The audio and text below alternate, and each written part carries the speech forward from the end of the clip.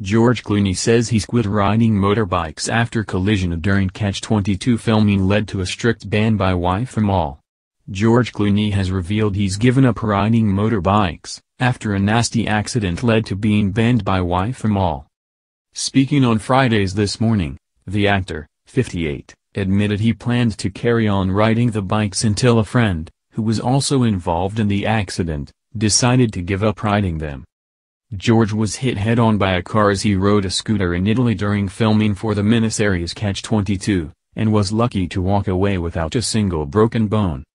George told Eamonn Holmes and Ruth Langsford, I was very lucky to pull out of that one, that officially got me off of motorbikes after 40 years. There was one of those conversations, we were coming back from the hospital and, Amal, said that's it, and I thought maybe I can get around this. But my buddy who was in the accident said to me yeah I'm off. Then I was ganged up on. Grant Heslov, executive producer on Catch-22 added, that morning was bad. Much worse than I think the press understood. He was behind me and we came up over a hill and I saw a guy who was going to turn and we locked eyes and then he went. And he just missed me and I just heard this kaboom and I thought oh my god, George is dead.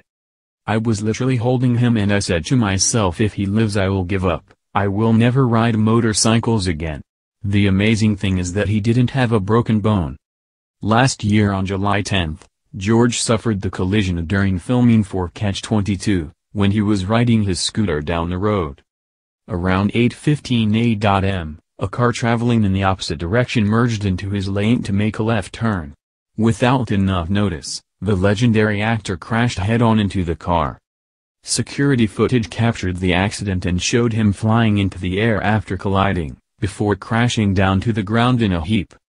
According to La Nuova, George was taken to John Paul II Hospital, where he was given an MRI scan after complaining of a slight trauma to the pelvis and bruises to one leg and an arm.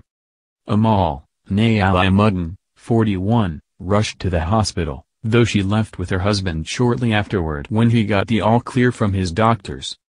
George had previously revealed that he was forbidden from riding again following the accident, saying at a panel last month, I'm not allowed to ride motorcycles.